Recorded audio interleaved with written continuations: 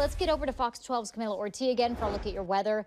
Boy, it's been cold out there. Yeah, definitely chilly. We had some sunshine, though, earlier in the it day. It was pretty. Yeah, yeah, it was nice. Uh, and then clouds moved in, you know, a little later in the afternoon. We even saw some light sprinkles out there along the coast, which we figured could happen. This is our Shilo Inns camera there in Seaside. Very light accumulations, just trace amounts out there. 39 degrees currently in Seaside.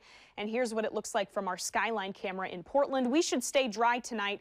Current temperatures uh, in the low 40s, upper 30s, low 40s across the metro area. So uh, those clouds will help us stay a little bit warmer overnight. So let's get into the super interesting stuff, which is kind of what we're watching for next week. This Arctic cold uh, that's hanging to the north of us, but it's close by and it could cause some issues for us here in the Pacific Northwest. So uh, you can see it kind of dips down a little bit. That cold Arctic air uh, going to be sitting over southern BC by the end of the weekend.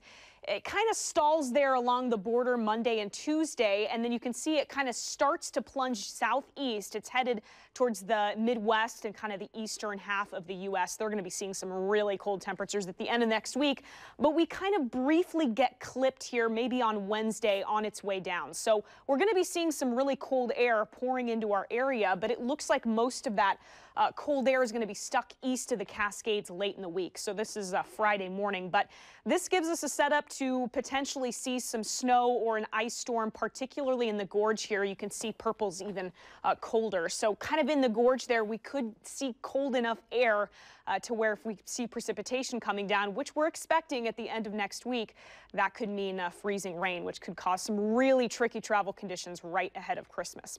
Uh, so we'll keep tabs on that, of course. Next few days, a lot easier in terms of forecasting. We look uh, mostly dry here, just cloudy for your Sunday morning. We do have a couple showers close by, so we do have a shower chance here in the Portland metro area, but mainly dry. We're thinking mostly cloudy skies. Here's a Monday morning. Also looks mostly cloudy west of the Cascades, but dry. We've got some close by precipitation there Monday evening, which could be snow flurries up north uh, in Washington. And then we get to Tuesday, and this is when we're thinking we could see maybe some snowflakes down uh, in the lowlands. This is our GRAF model indicating maybe some freezing rain here around the metro area. We'll see if that happens.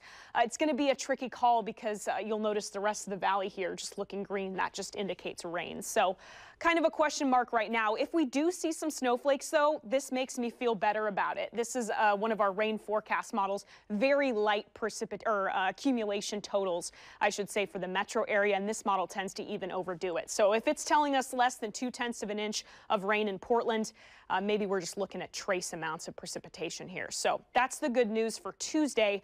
Wednesday, we're back to mainly dry conditions. You'll notice those high temperatures and those overnight lows starting to get a little bit colder as that Arctic, Arctic system clips us. Thursday, Friday is when we're really going to be seeing that precipitation coming through. So first alert weather day is there Thursday and Friday for the gorge because of that potential ice storm setup. And then by the time we get to Saturday, everybody should just be seeing rain. It's going to be warm enough overhead where we won't be worried about it anymore. Nora? All right, Camilla, thank you.